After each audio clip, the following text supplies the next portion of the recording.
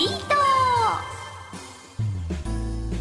サイコパス常森茜役花澤香菜です、えー、なんと早いところではアニメ第3話まで放送されたということで第2話がですねやってしまったという茜の回想から始まるわけですがなんか茜の普段の生活が初めて垣間見えたわけですがいいよねあの未来的な生活。なんなんだテイストはチャイニーズで何百キロカロリーでみたいなことを指定するとそれがなんか変な固形物になってビシャって出てくる。あれいいですよね。なんか食べると割と美味しいみたいな話とかも設定とかも聞いて。なんだいいな。ねえ。フライパンとかさお皿とか洗わなくてい良さそうだしさ。なんか いいですよね。あと洋服もねバッバッとこうなんだろうあれフォロで変えてんのかな？パターンを見れたりするじゃないですか。あれもいいですよね。まあこんな感じかなとか言って普通に外出てましたけど。いやー便利な世の中だなと思いながら見てましたが。えそして第3話では新たな事件が起こりまして。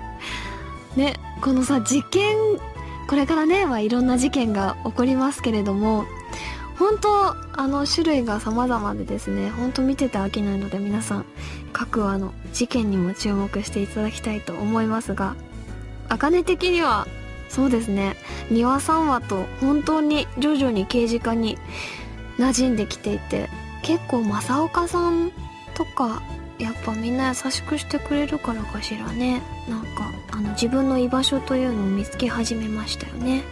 はいまあというわけであかねちゃん見守っていてほしいですえー、じゃあメッセージの方紹介していきましょう、えーこのコーナーではリスナー潜在班から届いた小さな罪の懺悔を私が優しく取り締まっていきたいと思います、えーラジオネーム江戸久さんからいただきました2歳の姪っ子のお菓子を黙って食べてしまいました。ごめんなさい。なんだと ?2 歳の、しかも、そうか、2歳の子が食べるお菓子ですよ、しかも。あんまり味のしないおせんべいみたいなやつじゃないの？それ。大丈夫？あの、ああ、そうだ。まあ、もう怒っちゃった、私。えー、江戸久さん？大人にはちゃんと大人のお菓子があるんだから。えーあの、そうですね。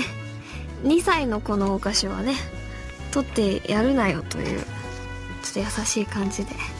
えーもうなそうだね。食べちゃったんならしょうがないから、とりあえず新しいのを買ってあげたら いいと思います。でもいいな。近くに姪っ子とかいると和みますね。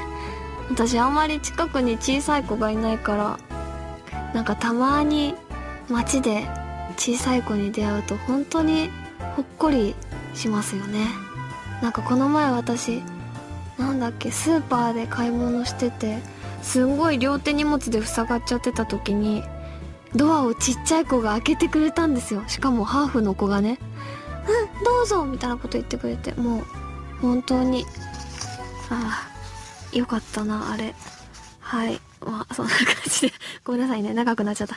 えー、じゃあ続いて、ラジオネーム、タンテさんからいただきました。えー、私が犯した罪は、寒いネタを披露して、その場を凍りつかせたことです。え、どこでだろうね、これね。いろいろ想像が膨らみますが、えー、タンテさん。そうね。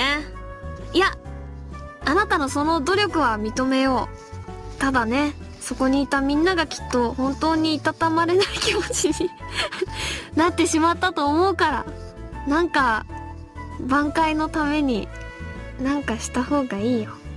みんなにお酒一杯ずつおごったりとかね、ちょっとお金で解決してください。はい。えー、というわけで、えー、そうですね。こんな感じで引き続き、えーこのコーナーでは皆さんが犯してしまった小さな罪を懺悔するメッセージをお待ちしております。私、本編の、本編とかラジオ、このコーナー以外のところをね、まだちゃんと聞けていないんですが、どうですかね？関さん、野島さん。下ネタばっか言ってちゃダメですよそんな番組にしないでね。はい。ということで、常森茜役の花澤香菜でした。バイバイ